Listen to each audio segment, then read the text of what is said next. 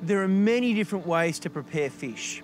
And what I'm going to show you today is really, really good for great firm-fleshed, oily fish like this wonderful Geraldton kingfish that I've got here.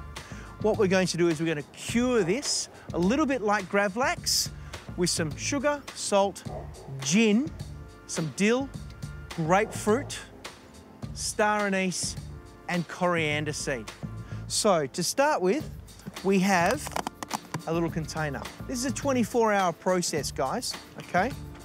In here, I have my curing mix. Now, a curing mix is an equal part salt-sugar ratio. So I've got light brown sugar, salt, and then I've got my spices in here as well, okay? So I've got my coriander seed and my star anise. To this, I'm going to add some dill. It doesn't need to be chopped finely, guys, okay? It's just to impart flavour because when we go to serve it, we're gonna wipe it all off. That's gonna go inside there. And then we've got this beautiful Harvey grapefruit. We're just going to take a little bit of that zest off. These natural essential oils in the zest are really gonna liven this up and they're gonna go fantastic with that Botanicals gin. Now our secret ingredient is some of this Giniversity Botanicals gin. A little bit of that, probably about 15 mils, okay? Give it a mix around. Now you want an even layer down on the bottom. We're gonna put our fish in, and then we're gonna put the rest of that on top, just like this. We're gonna pop that in the fridge overnight, and what's gonna happen is that sugar and salt is gonna draw all of the moisture out of the fish, and you're gonna have a beautiful piece of cured fish. We're gonna serve this today with a lovely little salsa. We have our shallots,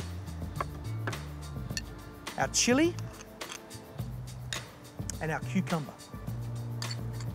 And then half an avocado. Okay, now a little trick is just scoop your avocado out with a spoon, just like that. A nice little dice of our avocado inside and a nice little mix around. This is a beautiful, refreshing salsa and it's gonna go wonderful with those gin flavors. Now to our fish.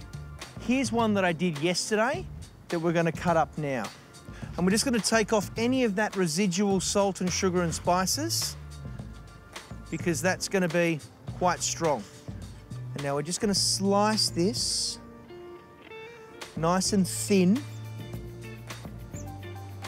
And then we're just gonna take some pieces of kingfish and fold them up on themselves.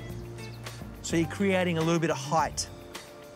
Now, all of these fantastic aromas of fennel and aniseed and dill and gin are gonna go absolutely wonderful with this little salsa we've got here. And then we're just gonna dress it with our yuzu and lime. That citrus from the yuzu is gonna be absolutely fantastic with this fish.